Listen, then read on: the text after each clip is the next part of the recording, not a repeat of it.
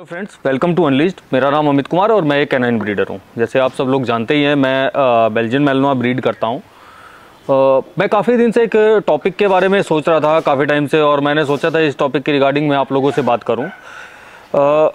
आज जो बेल्जियन मेलनोआ हैं उस ब्रीड के लिए आ, मैंने काफ़ी काफ़ी सालों से जैसे उस ब्रीड पर मैं काम कर रहा हूँ।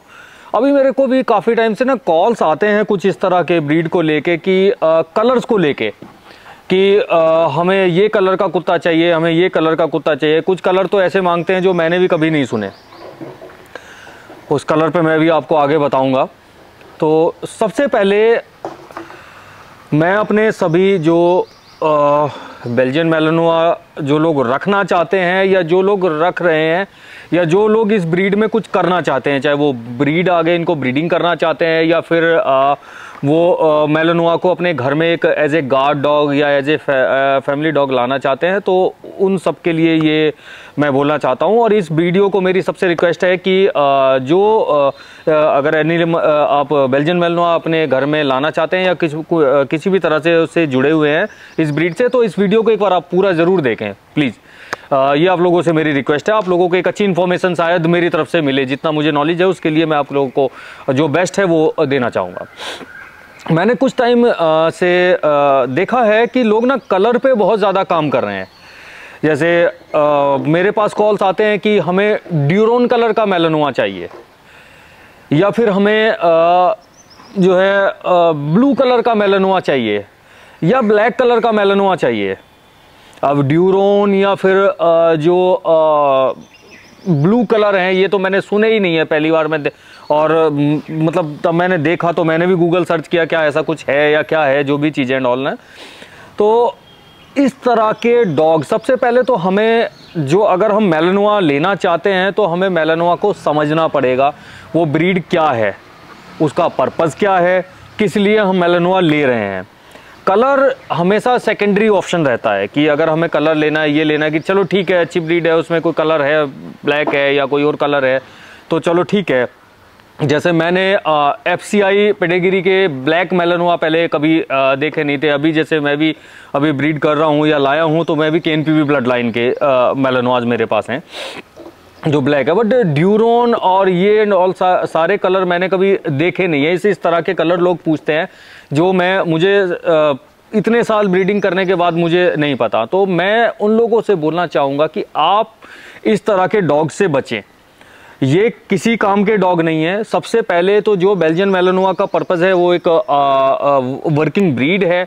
अगर आप एक ऐसा डॉग लेके आ रहे हो जिसको जिस डॉग के अंदर ना कोई ड्राइव है ना कोई वर्किंग है ना कोई किसी भी चीज़ का मतलब जो एक मेलनोआ के अंदर करेक्टर्स होने चाहिए वो उसके अंदर है ही नहीं। तो आप ऐसा डॉग क्यों लेके आते हैं हम घर में?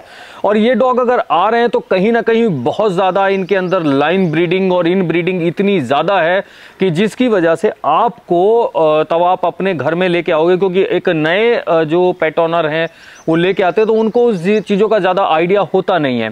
क्योंकि काफ़ी कॉल्स हमारे पास भी आते हैं कि, सर, हमने बेल्जियन मेलनवा लिया है और देखो, हमारा बड़ा ये बड़ा डार्क कलर का है, बड़ा सुंदर लगता है दिखने में मगर ये तो गार्डिंग भी नहीं करता, ऐसी नॉर्मल कुत्ता है, ना कोई ड्राइव है, ना कोई एनर्जी किसी चीज़ की, बस ठीक है, खा लिया और घूम लिया। अगर हमें कलर ही खरीदना है तो फिर हम कुछ और भी डॉग ले लें। हम एटलीस्ट ब्रीड को तो ख़राब ना करें। तो मेरी सब लोगों से यही है कि अगर आपको सबसे पहले तो आप तब डॉग खरीदते हो तो ब्रीडर से पहले ही, अगर एफसीआई हमारे के वाले डॉग हैं तो ब्रीडर से पहले ही मदर और फादर के जो पेपर वर्क है, उनके फ़ोटो ज़रूर मंगा लें। क्योंकि आप देखोगे, अभी आजकल देख रहे हैं कि मोस्टली जितनी भी ब्रीडिंग इंडिया में हो रही है बहुत ज़्यादा उस पर ऐसा नहीं है कि सभी लोग कर रहे हैं। कुछ लोग बहुत अच्छा कर रहे हैं। बहुत अच्छे अच्छे नए डॉग बाहर से लेके आ रहे हैं मेलनवा ब्लड लाइन जिसमें सुधार भी रहे हैं वो लोग। तो आप उनको थोड़ा सा देखें कि उनकी ब्लड लाइन कहीं कोई मैच तो नहीं कर रहे हैं, कहीं कोई लाइन ब्रीडिंग या कहीं कोई इन ब्रीडिंग तो नहीं है। लाइन ब्रीडिंग इन ब्रीडिंग होने से आपको प्रॉब्लम ही होगी। आपके घर में वो कुत्ता डिज़ीज़ से भरा हुआ होगा, बीमारियों से भरा हुआ होगा वो कुत्ता। कहीं ना कहीं किसी तरह के जेनेटिक फॉल्ट उसमें ज़रूर आएँगे। तो आप ऐसी ब्रीड से बचें। ऐसे डॉग लाने से बचें। तो और कभी भी आप अगर मेलनुआ अपने घर में लाना चाहते हैं या अपने फार्म पे लाना चाहते हैं तो कलर को हमेशा सेकेंडरी ऑप्शन रखें, ना कि उसको प्रायोरिटी पे रखें कि जी हमें तो यही कलर चाहिए।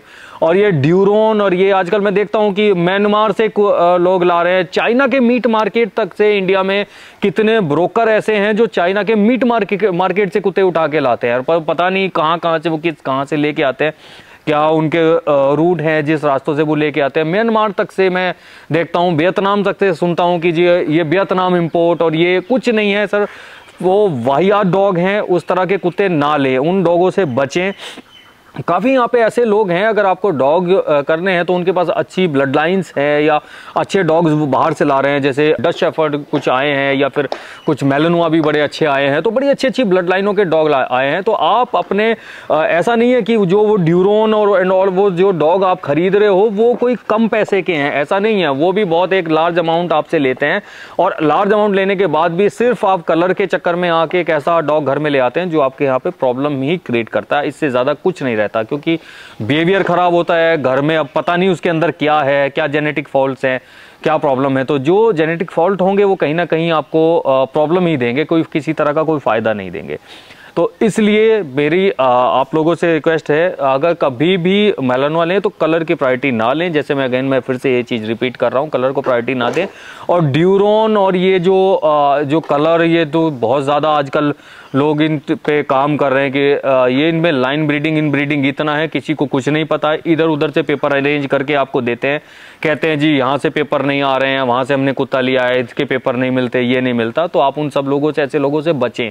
इस तरह के डॉग ना खरीदें, इस तरह के डॉग खरीद के, और जो लोग इस तरह के काम कर रहे हैं, मेरी उन लोगों से भी, वो भी हमारे भाइयों की तरह हैं बट उन लोगों से मेरी रिक्वेस्ट है कि इस तरह की ब्रीडिंग ना करें। वो सिर्फ़ मेलनवा को इंडिया में बर्बाद कर रहे हैं, इससे ज़्यादा कुछ नहीं कर रहे हैं। मे भी हो सकता है कुछ लोगों को ये वीडियो अच्छा ना लगे, जो मैंने बोला है बट ये एक फैक्ट है।